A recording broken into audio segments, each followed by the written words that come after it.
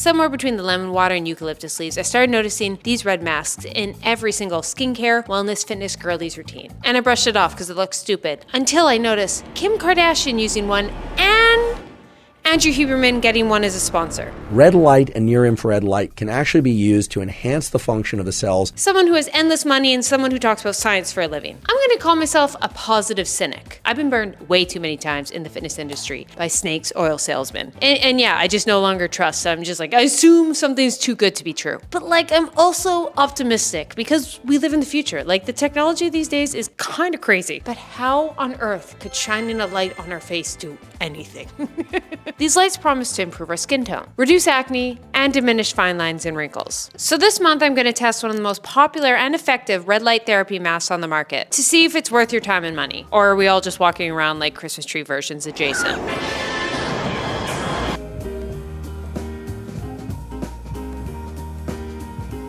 Here's day number one, where my skin's at. Can we have a moment of silence because we're finally experiencing the crossover episode that is Kardashians and Andrew Huberman. I'm going to be using the Omnilux face mask. Why?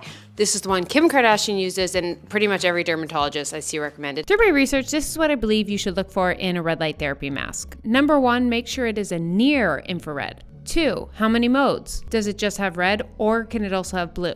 Three, the area it covers. Does it just cover the face, or are there other parts of your body you also want it to cover, for example, your neck and hands? Four, strength versus price. Typically, the more LED lights, the more powerful it is and the more expensive. I'd recommend getting the most powerful one you can get within your budget. It recommends three to five sessions, 10 minutes for a minimum of four weeks to see results. So I'm gonna be doing this for the recommended six weeks, five sessions, 10 minutes a week to see if this can reverse my age and not just make me feel like I'm living in a sci-fi movie. You know it to be true. If this works, you're telling me I gotta sit there for 10 minutes doing nothing? And it makes me hotter?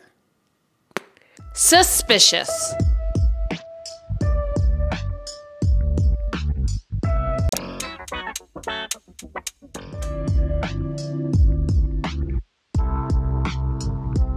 Okay, it's day number two of this bad boy, and uh, nothing's changed, but it was nice.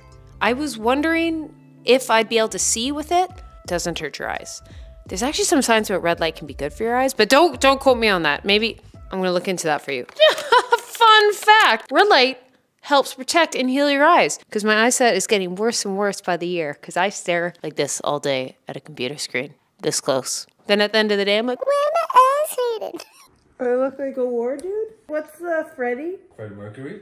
Nope, Freddie Mercury. I think he wears a hockey mask. Yeah. Is that Freddie? Isn't that Freddie Mercury? Well, Freddie Mercury's the lead singer of Queen. Oh shit! Yeah.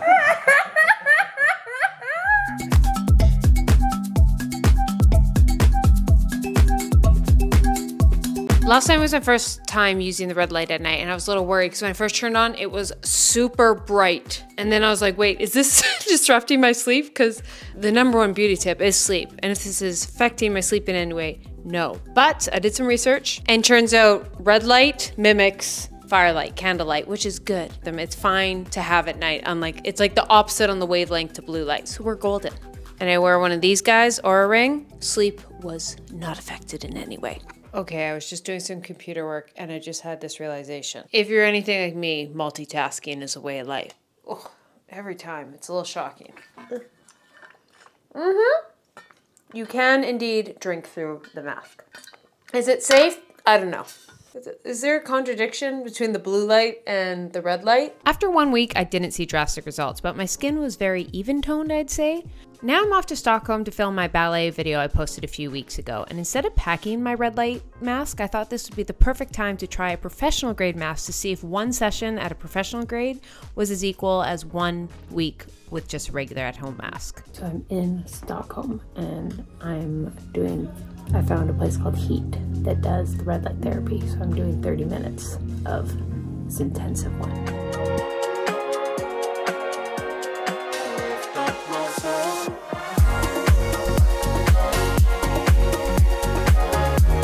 Got back from Stockholm, hence this disaster. And how's my skin doing? I haven't noticed a difference between doing the week versus doing the professional grade. It's hard to say, but I did get two pimples. Uh, but it's my time of the month and I travel. And that always happens because I touch my face. But I guess I will say if you wear this mask, it's not like you're never gonna get pimples. You can like consistently use the at home mask every day or like once a week or once every few weeks go and get professional grade. I bet you, but we still got about two weeks left in this challenge. We'll see if these wrinkles can be cured better than Botox. And we're going to answer some questions off Instagram for you guys. What mask did I buy? The Omnilux Contour Face. Reason I bought this one, there's cheaper ones, but they didn't seem to be too effective, and there's way more expensive ones. But I was like, what is the one that I thought I could see the most results from with spending the least? What does it do for you? The idea is really that it helps promote collagen. So this can help with acne, anti-aging things, so wrinkles, skin texture. Now, what are good brands? The ones I saw, Omnilux seems to be the most universally one. The Therabodies, and then Joovv. Joovv seems to be the one. If you see some crazy biohacking guy, he's probably using the Joovv. Does the light mess with your sleep? No. What is the minimum times per day and week? According to the instructions, it's 10 minutes a day, three to five times a week. So I'm doing it five times a week. Does it help with inflammation? According to Nazan MD, a board certified dermatologist in Philadelphia, the biggest benefit of red light is its reduction of inflammation. It's because it triggers the formation of blood vessels and increases production of collagen. Does it treat acne or wrinkles? Both. I'm using it for wrinkles and I don't really have acne, but I get the occasional pimple. How it works with acne is it penetrates through the skin and targets where the formation of acne actually occurs. So pretty much the older you get, plus exposure to more UV, your skin sags, which causes wrinkles. And it sags because of loss of collagen. So the red light helps stimulate the production of collagen. Does it make your face sweaty? No. You kind of don't notice it. It's like a little warm, but I dare even say that. Do you need sunscreen? No. Here's how I describe it. You know, like the light bulb you have in your house, you don't have to wear sunscreen for that because it doesn't have UV rays, similar to this. Difference between dermatologists versus at home. It's just the strength, which is the cheapest option. The one I saw online said the S Sense was the cheapest recommended by all the websites, Oprah, Cosmopolitan, Women's Health. When you're buying these at home advices, really look for it say near infrared and as many lights as you can get within your budget. And lastly, is it bad for your eyes?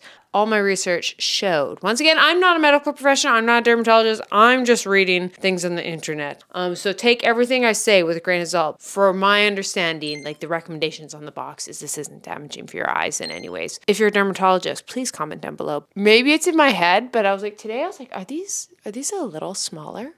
Now, what's the difference between all the different lights, such as red, blue, and UV? Blue light treats acne and other skin imperfections. Blue light's wavelengths treat acne by killing the bacteria responsible for its development. Blue light therapy versus blue light from our screens. Blue light from our screens equals affects sleep because it mimics sunlight and throws off our circadian rhythm. But that's also why it's beneficial during daylight hours, like getting morning sunlight can be beneficial, but it seems to be most disruptive at night. My main takeaway while the science is still out, use it for acne, avoid it after 5 p.m. like caffeine. Red light versus near infrared light. It's different because near infrared penetrates deeper into the body, making it more effective. UV is a different wavelength from blue light. All science points to UV light being the most damaging thing for our skin, but you don't have to worry about the blue light from these LED masks mimicking the UV rays from our sun. They are different. I'm halfway through this red light therapy. I've got some major pimple action. I don't know if it's anything to do with it. I think it has to do with my period. Far, I, just don't like my skin seemed even tone, but the wrinkles actually. Wait, wait, wait a second. I had this one smoker wrinkle that was coming. I just saw a sign. I haven't noticed it. It could still be there. Here, live reaction. Okay. Oh. oh. Okay, this could be complete placebo, but I had like two, three of these little lines form. Oh. Okay, I might just take back what I just said, but uh, I don't know. It's kind of toxic to be staring my face like this. I feel like being so hyper fixated on the wrinkles. But you know, science. Speaking of science, experts believe that red LED lights act on cells in the skin known as fibroblasts, which play a role in production of collagen, a protein that makes up a large part of connective tissues and helps the skin to recover when harmed. So, in theory, red light could help reverse some of the signs related to photoaging in the skin.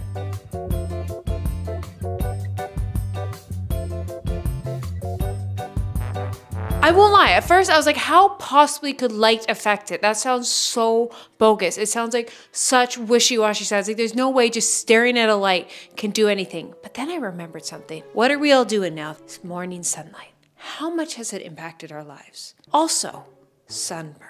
Yes, just being out in the sun can literally burn our skin. So it makes sense that light can affect our skin. You know what I mean? That was such an aha moment. I was like, oh, certain UV lights come into our skin cause damage. So it would kind of make sense that the same source, but like a different wavelength, could do the reverse.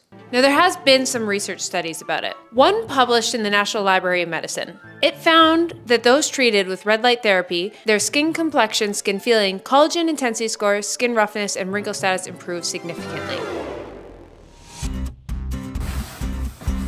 Took the train down to Stockholm. I have to stay overnight before my flight.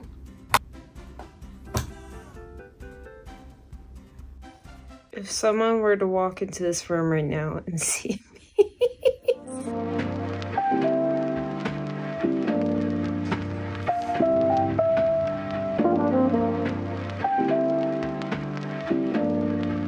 I have a little tinted moisturizer on. Maybe it's in my head, but my skin feels really good. Okay, I have this one pimple, so that, excluding that,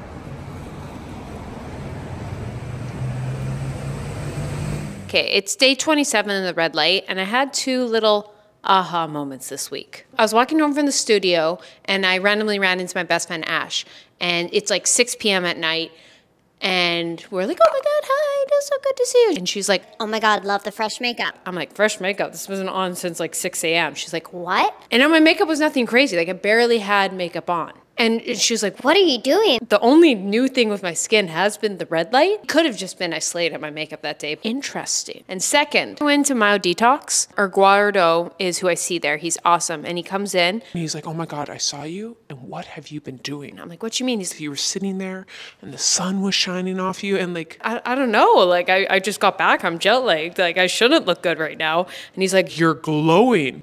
So obviously the sun was a natural highlighter, but I've just had a couple random moments like that of people being like, "You're glowing." Now I'm not pregnant. the only thing I've really done different is this red light. So Here are my results after 30 days. I will note I had two pimples that I picked. I'm getting so much better. I will say, if you watched my 30 day glass skin, my 75 hard, skin picking is an issue for me, and I've gotten a lot better. And I found using the red light therapy mask at night a signal not to pop. Like it's just something else I have to do. And I obviously can't pop my pimples when the mask is on. So that has been beneficial. And I do think my skin is looking a bit more plump. Okay, I have my results up right here on the screen, and I'm gonna live react to my 30 day results now with you all. I will say my face is less red, definitely. But I'm also wearing red in the before photo. So, you know, like sometimes what you wear, like when I wear green, my eyes pop, and I do have red undertones. So, hmm. You can see on this one, there's random lines. I've just woken up. The side, I don't really see much difference. Maybe, maybe a little. Because I feel it is more prominent on my left, but I'm zoomed in more on my right, so you would think you would see it more. Hmm. Hmm. Final thoughts. I think there was a little bit, A little, a little, little difference so far in about five weeks. And I got three thoughts for you if it's worth it or not. Number one, does it seem to make a difference? Yes.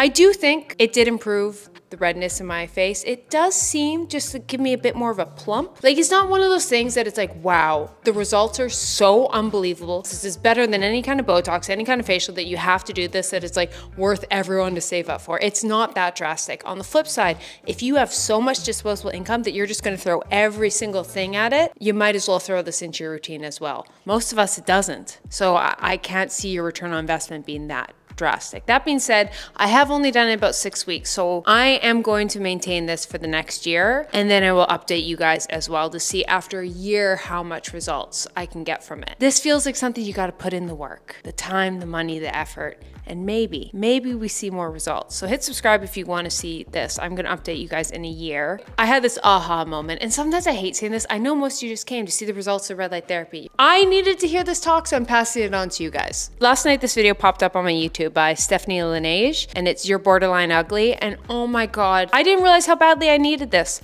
It was so refreshing. Now, the title at first, I was like, Oh, ballsy thing to say.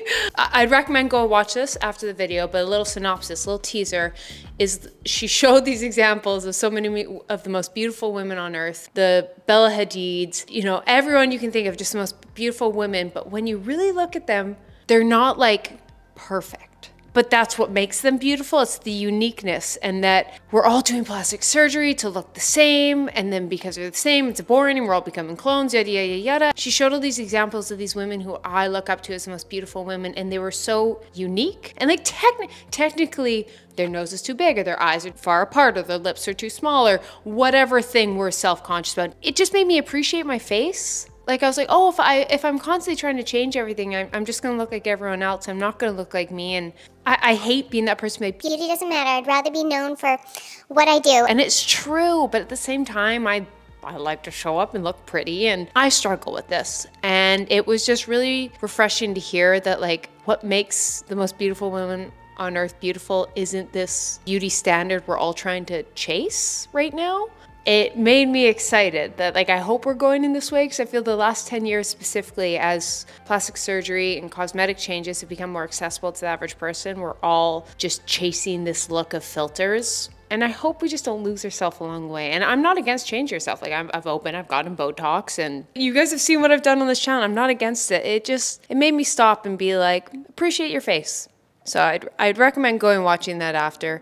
With red light therapy, this is an interesting one because is it just cosmetic? Because there's also a lot of studies about the health benefits of red light therapy on repairing collagen. And that's the tough line is like your skin is an organ. You want to treat it your best. But at what point are we treating it for the health of it and just the cosmetics of it? But it is funny that typically the healthier the skin, the better it looks. But that's not always the case.